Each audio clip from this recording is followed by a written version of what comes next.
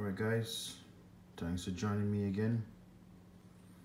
And today we'll be doing something a little special where we'll be changing the VIN number and a CAS module. So, and the tool that we'll be using today will be the CG Pro right here. So that's the CG Pro. And that's the software right here, CG Pro. So today we're gonna do something a little different. So I'll be showing you how you're gonna change the VIN number in the CAS module. Okay, so we go over here and we go to BMW and you go down to VIN right here. There we go. So now all you got to do now is just you got CAS 1, CAS 2, CAS 3, and CAS 4. So it doesn't matter if it's a CAS 3 plus. Once you have the, the proper EEPROM file, you're able to change it. So today we're gonna go to open. Okay, now we're gonna look for that EEPROM file.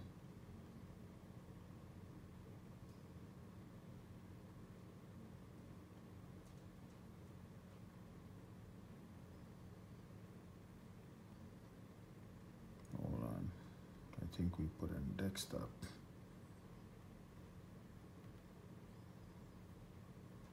So now we gotta find that file. Okay, so this is a 2006 BMW CAS 3. So we're gonna open that file. There we go. So that's the file right there. Over here, that's the current VIN that's on the CAS module. And to your right, right here,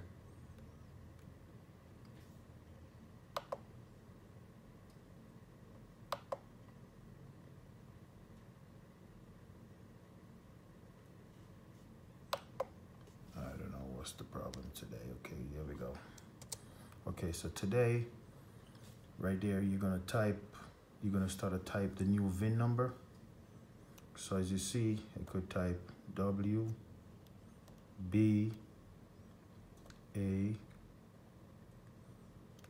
V D.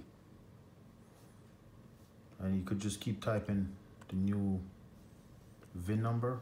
Then after you type it, you gotta save it and it's gonna create a new file.